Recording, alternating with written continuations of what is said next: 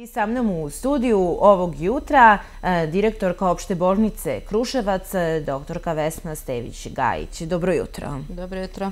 Evo iz prve ruke da čujemo kakva je situacija u opštej bolnici kada je e, epidemiološka situacija u pitanju. To je ono što nas sve interesuje. Od jutros je epidemiološka situacija značajno bolja nego u prethodnom periodu. Ne samo jutros, već neko vreme, još od početka novembra meseca imamo smanjenje broja hospitalizovanih pacijenata u bolnici, isto tako i smanjenje broja pregleda u ambulantama kako u domu zdravlja, tako i u opštoj bolnici.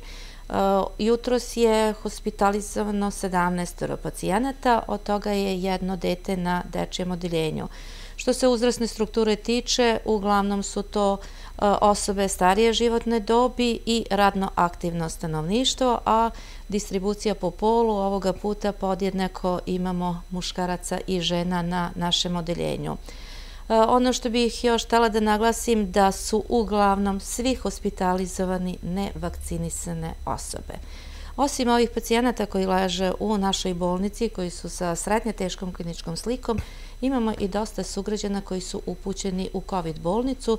To su pacijenti koji zahtevaju lečenje u poluintenzivnoj ili intenzivnoj nezi.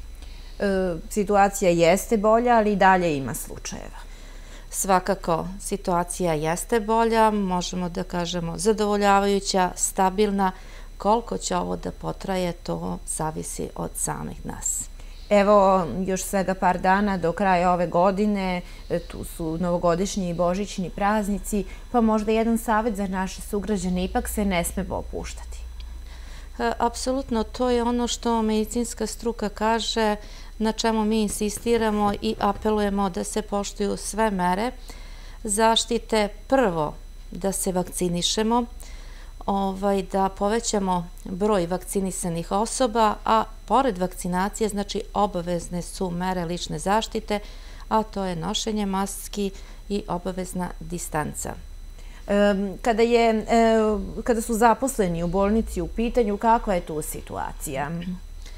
U jednom trenutku, tačnije, prošle godine je bilo dosta pozitivnih zdravstvenih radnika, dosta obolelih.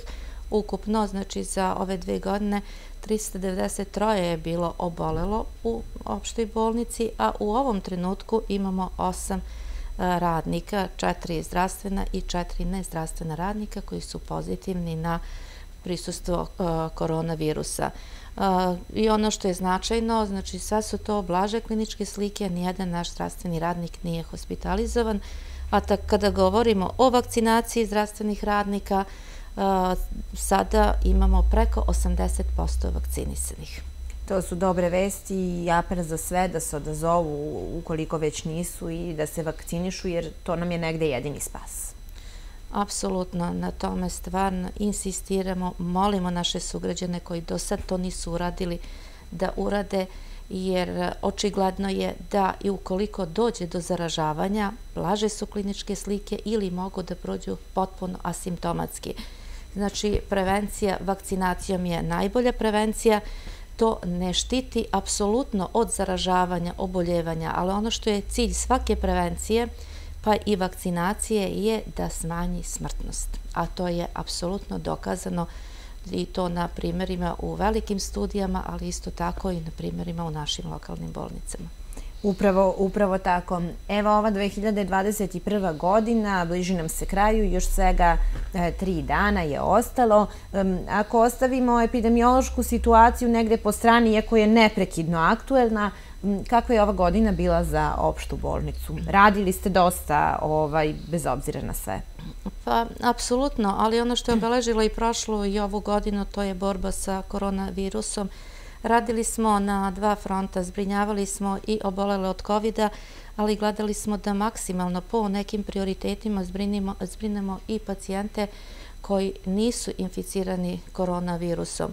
I to mislim da smo donekle postigli. Znači, zbrinuli smo sve naše e, hitne pacijente, pacijente na hemodijalizi, pacijente na hemoterapiji, sve one koji su mogli znači u nekoj budućnosti da pogoršaju zdravstveno stanje ukoliko ne obave pregled u našoj bolnici, jeste nešto manji broj pregleda, manji broj hospitalizacija 2020. godine u odnosu na 2019. godinu.